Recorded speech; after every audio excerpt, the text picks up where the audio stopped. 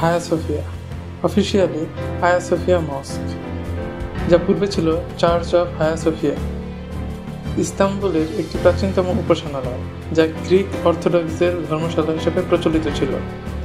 পরবর্তীতে উসমানীয় মসজিদে পরিণত করা হয়, অতপর এটিকে জাদুঘরে রূপান্তর করা হয়। সর্বশেষ দু হাজার বিশ সালের জুলাইয়ে হায়া সোফিয়াকে পুনরায় মসজিদে রূপান্তর করার ঘোষণা আসে। Greek wisdom, Latin Sophia. Hagia সোফিয়ার নামের সাথে কোনো ব্যক্তির নামের কোনো সম্পর্ক নেই। রোমান সম্রাট জাস্টিনিয়ান প্রথম। এর রাজত্বকালে পাঁচশো সাতত্রিশ খ্রিস্টাব্দে এটি নির্মাণ করা হয়। তখন থেকে স্থানটি বিশ্বের অন্যতম কেন্দ্রস্থলে পরিণত হয়। তাছাড়া হায়া সোফিয়া সর্বপ্রথম ঝুলন্ত গম্বুজের জন্য পরিচিত। এটি বাইজেন্টাইন স্থাপত্যের প্রতীক হিসাবে বিবেচিত এবং স্থাপত্যশৈলীর পরিবর্তনের ইতিহাস বর্ণনার সাক্ষী হিসাবে আমাদের মাঝে এখনও টিকে আছে।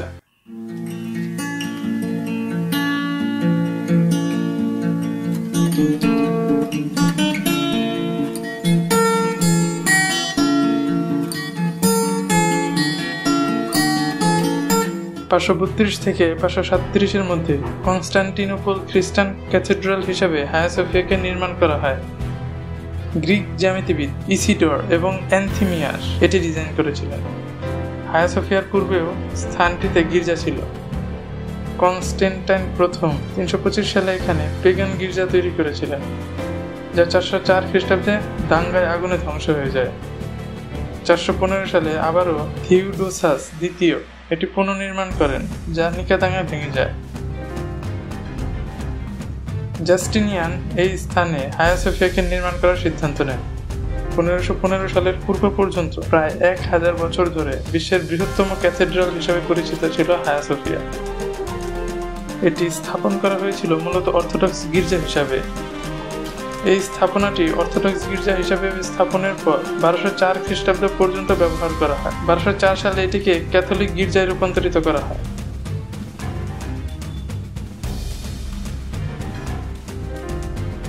বারোশো একষট্টি সাল পর্যন্ত এটি ক্যাথলিক গির্জা হিসাবেই ব্যবহৃত হয়।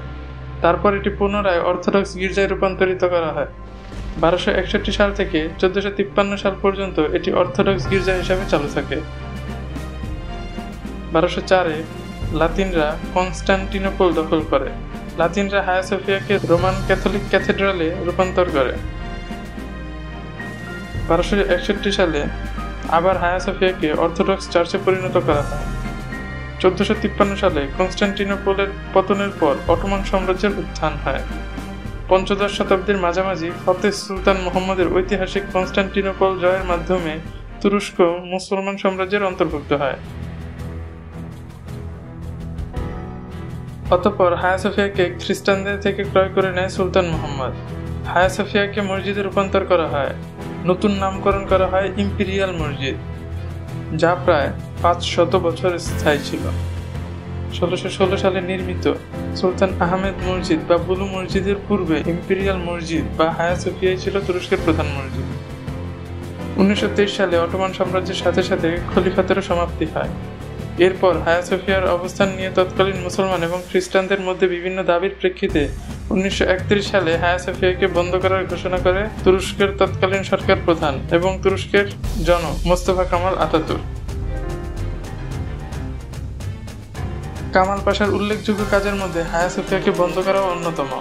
ধর্মনিরপেক্ষতা ছাড়াও ক্রয় সূত্রে এই সম্পদের মালিক মুসলমান হওয়ায় এটি পুনরায় গির্জায় পরিণত করতে পারেনি তিনি। চার বছর পর উনিশশো পঁয়ত্রিশ সালে হায়া সোফিয়াকে জাদুঘর হিসাবে সকলের জন্য উন্মুক্ত করা হয়। উসমানী শাসনামলে মসজিদের রূপান্তর পর এর দেয়ালে মার্বেল পাথরে অঙ্কিত যীশু খ্রিস্টের অনেক ছবি সিমেন্ট দিয়ে মুছে দেওয়া হয়। ছবিগুলো প্রায় পাঁচ শত বছরের জন্য সিমেন্টের নিচে চাপা পড়ে।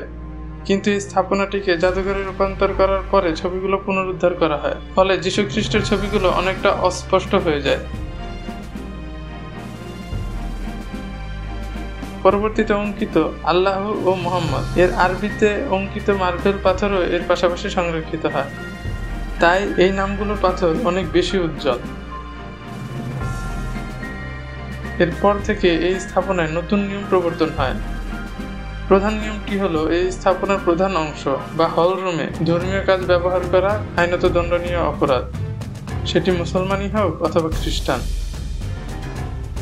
তবে এই স্থাপনায় উভয় ধর্মের জন্য আলাদা আলাদা সংরক্ষিত জায়গা রয়েছে। অর্থাৎ এই কমপ্লেক্সটিতে একটি মসজিদ ও একটি গির্জা নির্মাণ করা হয়, যা শুধুমাত্র জাদুঘরের কর্মচারী কর্মকর্তাদের জন্য সংরক্ষিত।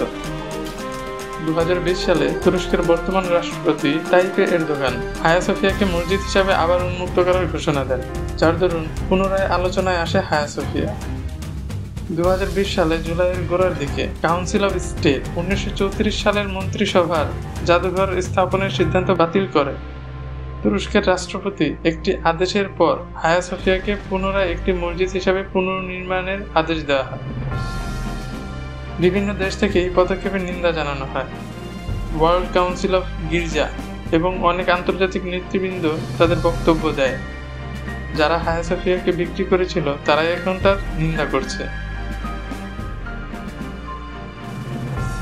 দশই জুলাই দুই হাজার বিশ সালে রোজ শুক্রবার তুরস্কের শীর্ষ আদালত এটিকে পুনরায় মসজিদে রূপান্তরের রায় ঘোষণা করে প্রায় ছিয়াশি বছর পর হায়া সোফিয়ায় আজান শোনা যায়।